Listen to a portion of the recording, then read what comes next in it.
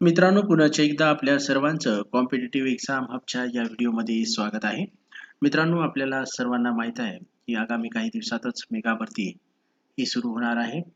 आणि त्या अनुषंगाने ही भरती प्रक्रिया आचारसंहितेच्या अगोदर पूर्ण होईल का? अशा अशाच्या बऱ्याचशा मित्रांच्या कमेंट्स आल्या होत्या. आणि या सर्वांना भीती आहे की ही जी भरती प्रक्रिया आहे ही भरती प्रक्रिया आचारसंहिते किंवा निवडणुकीमुळे थांबू शकेल का? अशा सुद्धा शंका आपल्या मनामध्ये आहेत. तर मित्रांनो सध्याची निवडणूक आयोगाची नेमकी अपडेटेड माहिती काय आहे? त्यांचा मूड कसा आहे आणि कशा प्रकारे निवडणुका ह्या होऊ शकतात? आचारसंहिता लागते किंवा नाही लागत याबद्दलच्या सविस्तर माहिती आणि मार्गदर्शन मी आपल्याला या व्हिडिओच्या माध्यमातून देणार आहे. मित्रांनो बातमी ही आजचीच आहे चार डिसेंबर दोन हजार अठराची. आयोगाच्या सूत्राची माहिती आंध्र ओडिशा सिक्कीम आणि अरुणाचलचा समावेश लोकसभेसोबत चार राज्याच्या विधानसभा निवडणुका शक्य अशा आशयाची ही बातमी आहे. परंतु मित्रांनो यामध्ये महाराष्ट्र आणि हरियाणा या दोन राज्याची नावं नाही आहेत परंतु शक्यता वर्तवलेली आहे की या दोन राज्याच्या जर निवडणुका लोकसभेसोबत झाल्यात तर मात्र दोन हजार एकोणीसमध्ये इतर कोणत्याही राज्यात निवडणुका होणार नाहीत अशी जी काही खात्रीशीर माहिती आहे ही माहिती निवडणूक आयोगाच्या सूत्रांनी या पेपरवाल्यांना दिलेली आहे. तर याबद्दलच आपल्याला चर्चा करायची आहे आणि बघायचं आहे की नेमकी स्थिती काय आहे. निवडणूक आयोगाचा मूड कशा प्रकारचा आहे आणि याचा परिणाम हा भरतीवर होणार आहे का? मित्रांनो शेवटपर्यंत राहा. याबद्दलची जी काही माहिती आहे ती मी आपल्याला देणार आहे. तत्पूर्वी आपण थोडीशी बातमी बघूया आणि नंतर आपण चर्चा करूया. निवडणूक आयोग लोक निवडणूक आयोग लोकसभेच्या दोन हजार एकोणीसमध्ये होणाऱ्या निवडणुकीसोबत आंध्र प्रदेश ओडिशा सिक्कीम आणि अरुणाचल प्रदेश या चार राज्याच्या विधानसभाची निवडणूक घेण्याची शक्यता दाट आहे. निवडणूक आयोगातील उच्च पदस्थ सूत्रांनी ही माहिती दिलेली आहे. आणि या चार राज्याच्या विधानसभाची मुदत मे आणि जून दोन हजार एकोणीसच्या शेवटी संपणार आहे.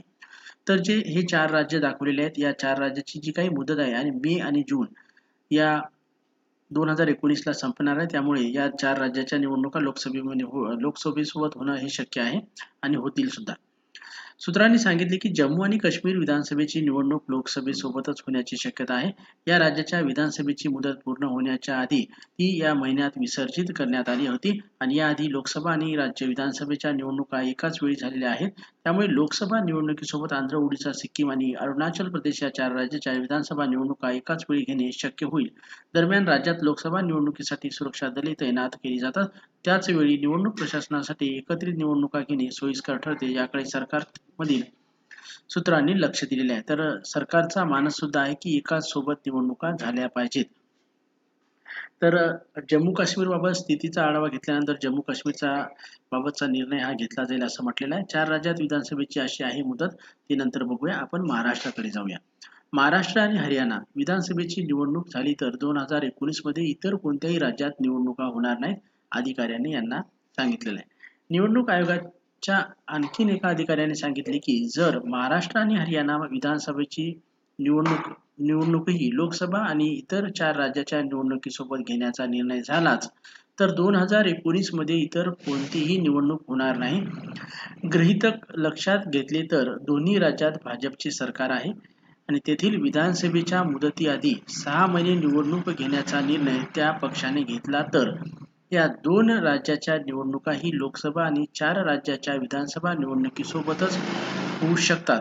या दोन्ही राज्याच्या विधानसभाची मुदत नोव्हेंबर दोन हजार एकोणीसमध्ये संपणार आहे. जर मित्रांनो भाजपने विचार केला तर या निवडणुका या लोकसभेमध्येच होऊ शकतात. जर त्यांनी विचार बदलला तर नोव्हेंबर दोन हजार एकोणीस पर्यंत यांना मुदत आहे आणि नोव्हेंबर दोन हजार एकोणीस पर्यंत आपण निश्चिंत राहायचं आहे. परंतु मूड नेमका आता भाजपचा कसा आहे यावर ह्या सर्व गोष्टी ठरणार आहेत. परंतु आपल्या सर्वांना मित्रांनो सांगू इच्छितो की ही जी मेगा भरती होणार आहे ही भरती आचारसंहितेपूर्वी होणार आहे. आगामी या एक ते दीड महिन्यामध्ये जाहिराती येणार आहेत आणि एकदा जाहिराती आल्याच्यानंतर यावर आचारसंहितेचा कोणताही परिणाम होत नाही. जी आचारसंहितेच्या पूर्वी जे काही निर्णय झालेले आहेत त्यावर कोणताच परिणाम हा आचारसंहितेचा निवडणुकीचा पडत नसतो. आणि मित्रांनो हा एक कालबद्ध कार्यक्रम आहे. आणि त्याचा निर्णय हा झालेला आहे. त्यामुळे हा निवडणुकीपूर्वीचे सर्व नियम आहेत. त्याला आचारसंहितेचा किंवा निवडणुकीचा कोणताही बाधा राहत नाही. तर या आगामी एक ते एक ते दीड महिन्यामध्ये या सर्व प्रक्रिया जाहिराती येतील. कालबद्ध कार्यक्रम ठरेल. आणि रुटीनमध्ये जे काही कामं असतात ते प्रशासनाचे चालू असतात. यावर निवडणुकीचा आणि आचारसंहितेचा कोणताही परिणाम नसतो. परंतु जी शेवटची फायनल नियुक्ती आदेश असतात ते आदेश मात्र आचारसंहितेमध्ये देता येत नाहीत. त्यामुळे आदेश थांबू शकतात. परंतु मित्रांनो आपली परीक्षा असेल किंवा इतर ज्या काही प्रक्रिया आहेत जसं की अर्ज भरणे त्यानंतर अर्ज तपासणीचा कालावधी परीक्षा या सर्व प्रक्रिया सुरू राहतील परंतु फायनल जो आदेश असतो तो आदेश आपल्याला आचारसंहितेमध्ये कोणत्याही विभागाला देता येत नाही. जेव्हा आचारसंहिता संपेल लगेच आपल्याला आदेश मिळतील. परंतु जर शासनाने मनात जर आणलं तर ही भरती प्रक्रिया या निवडणुकीच्या अगोदरच होऊ शकतं. आणि तशा प्रकारचा कालबद्ध कार्यक्रम प्रशासकीय स्तरावरून तशा प्रकारच्या हालचाली ह्या अतिशय वेगाने होत आहेत.